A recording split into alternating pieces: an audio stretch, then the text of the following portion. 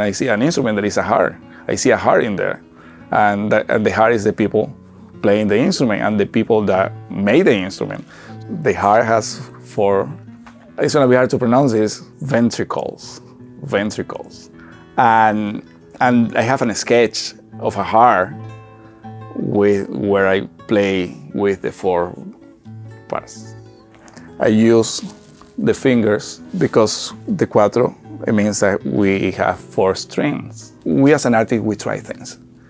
And because I'm, I've been experimenting the music in my head now, I was like motivated to try something, trying to paint life while somebody's playing.